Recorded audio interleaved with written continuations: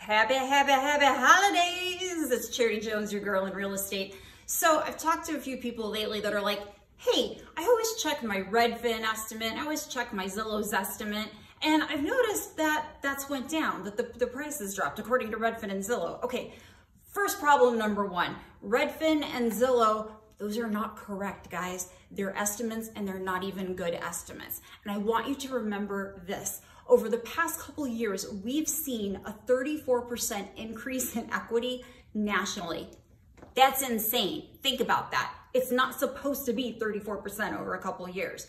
So what's happening is right now we're going through a market correction, not a crash, a correction where things are starting to stabilize. That's why the interest rates are higher right now.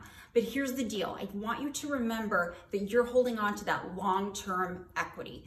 You're gonna write it out and you're gonna be just fine. Why? Because you locked in a great interest rate and your equity is safe.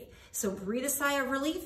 We're going in this together. I know it's a confusing time in the market, but if you do have questions, know that I am always available DM, PM, text, call, whatever you like. I'm always here to help in whatever way I can.